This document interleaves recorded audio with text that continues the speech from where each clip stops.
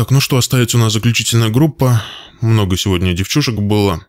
Открывала третью группу участниц Даша Садкова. Сначала нужно передать привет Арине Ушаковой и Максиму Некрасову. С них началась вот эта бесовщина. Хотя, с другой стороны, если мы вспомним Соню Акатьеву и когда ей ставили вот этот ужас под названием «Бьорк», где регулярно на протяжении песни были крики словно из психушки, как будто бы какая-то поехавшая орет. Но если в том случае это совсем все плохо было, это просто трагедия такое ставить для детей, это на тренировке вот это, с позволения сказать, музыка звучит, и ее слышат другие, и это все каждый день, так и самому в психушку можно загреметь. С вот этой композицией, конечно, не все так плохо, но тоже плохо. То есть, конечно, просто гадость. Если в танце Ушакова и Некрасова это хотя бы было в тему, потому что они просто на таком сумасшедшем темпе, во-вторых, это танцы на льду, и в-третьих, в самой программе действительно была бесовщина, то есть все это сочеталось, было прям под музыку, то здесь вот такая маленькая очаровательная девочка и играет вот это мракобесие, ну, конечно, смотрится отвратительно. Просто чудовищный контраст. Но на этом, к счастью, негативная часть программы заканчивается, потому что если мы говорим о прокате в целом, о катании, о прыжках, вращениях, в конце концов выразительности даже местами, то в очередной раз Даша показала, что у нее ну вот действительно чувствуется потенциал. То есть вот так вот катают, когда есть потенциал. Чувствуется, что с запасом девочка, что там есть еще что раскрывать. Чувствуется вот эта сила внутри нее и одновременно легкость.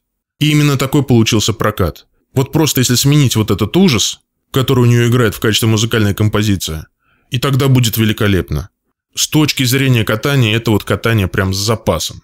Так она каталась и в прошлом сезоне, и сейчас она продолжает это показывать. Видно, что есть чем работать и есть из чего лепить. Дальше на лед у нас вышла Вероника Жилина. Получается, единственная из трекселисток, у кого сегодня получился каскад акселя с тулупом. Замечательно получился. Также не может не радовать то, что появилось побольше скорости. В прошлом сезоне Ника была помедленнее. Но однако было два серьезных момента, которые испортили впечатление от проката. Первое – это сама программа, то есть абсолютно детская постановка, ну хотя юниоры, наверное, изначально логично предположить, что так и должно быть, что у всех должны быть подобные программы. Но все-таки нет, у нас вот во втором спортивном, в третьем спортивном уже не всегда встретишь подобные прокаты. То есть даже там берут более серьезные композиции и, и ставят более серьезную хореографию. И тем более сравнивать с предыдущими программами Ники, тот же пятый элемент, ну, разница, безусловно, существенная. Пускай даже там также были проблемы и с выразительностью, и с артистизмом, но все равно это как-то смотрелось. Она действительно сама смотрелась как пятый элемент. И костюм был соответствующий, музыка. А вот эта программа, ну, совсем не серьезная. Такую вот сейчас катают где-то в 7-8 лет. И второй момент, который также расстроил, это, опять же, качество катания Ники. Не видно совсем улучшений в катании, владение коньком такое же слабенькое, как и в прошлых сезонах. Непонятно, работали они вообще над этим или нет. Но, конечно, видны существенные пробелы. И опять же, если вот обращаться к тому же пятому элементу, там на это даже не обращаешь как-то внимания. То есть Ника там как-то гипнотизирует зрителя своим видом, вот этой музыкой, энергией, что даже и на катание не смотришь. А вот в подобных программах, когда все детское, здесь, можно сказать, слабую сторону показали во всей красе. То есть слабые стороны надо прятать и выпячивать сильные. А здесь из сильных сторон был только первый каскад, а дальше было совсем все слабенько. Ну и также непонятно, что со стабильностью. То есть в случае Ники здесь не важно. Она может выехать и четверные, и тройной аксель, но допустить совершенно ненужную ошибку на обычном тройном прыжке, как сегодня и было. Да и двойной аксель был не очень уверенный. Но при этом какой шикарный каскад. То есть пока что все то же самое, только еще добавилась плохая программа, которая совсем Ники не идет. Затем у нас на лед вышла Алина Горбачева. Программа замечательная, очень хорошая, музыка играет. И сама Алина из-за изменений, положительных, которые можно заметить, прибавила в скорости.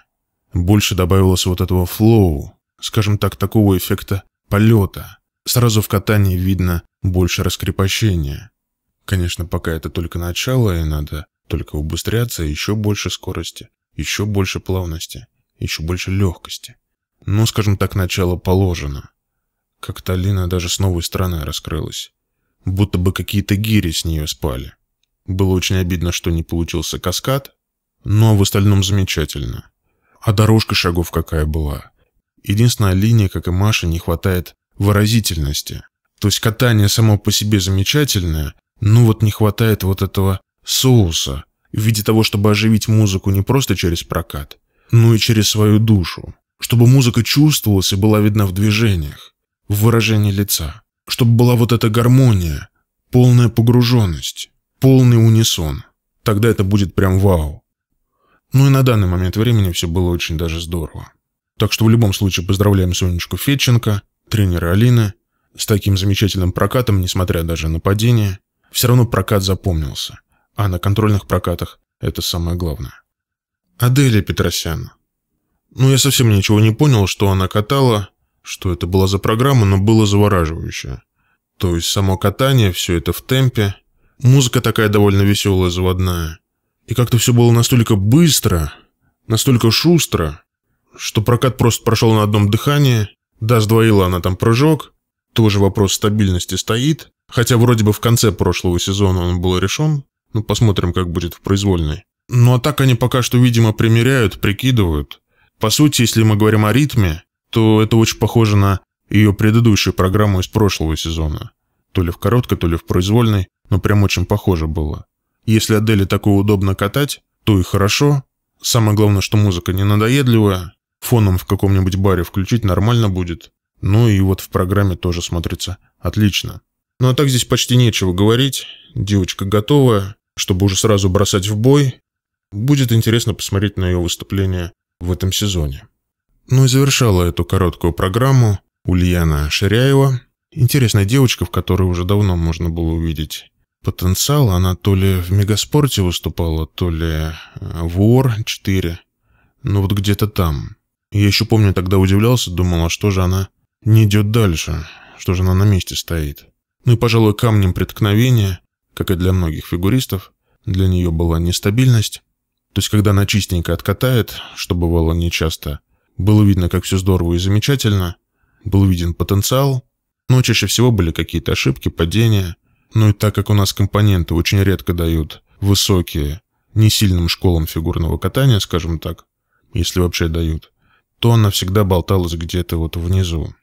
И, конечно, было удивительно ее видеть в списках на ту же серию юниорского гран-при. Но что касается проката Ульяны, Девочка складная, хорошая, как я и сказал. В ней чувствуется потенциал, но пока что она слишком зажата. Очень сконцентрирована на себе, видно, что боится ошибиться, есть такая осторожность перед элементами. Ну и в целом вот такое вот состояние, вот этой зажатости, какой-то замкнутости, оно, к сожалению, сопровождает всю программу.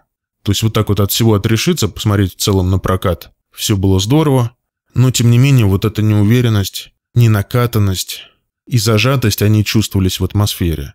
Музыка, кстати, выбрана неплохая, но вот подходит ли она Ульяне – это вопрос. Такая композиция, кстати, зашла бы очень хорошо в парное катание. А так почти во всех местах музыка сильнее, чем фигуристка катает. Из-за этого также получается не очень хороший контраст. Но это все лишь говорит о том, что просто нужно работать. Девочка впервые на контрольных прокатах юниоров. Все понятно, переживает, волнуется. Нужно себя показать с самой лучшей стороны еще не привыкла выступать на таком высоком уровне. А приглашение на юниорские прокаты сборной – это и есть высочайший уровень в мире. Поэтому такие двоякие чувства. То есть в целом откатала хорошо, и виден потенциал в ней. Чувствуется, что она может еще хорошо прибавить. Но при этом вот эта атмосфера зажатости, неуверенности, она прям передавалась даже через прокат. Так что будем надеяться, это просто вопрос времени.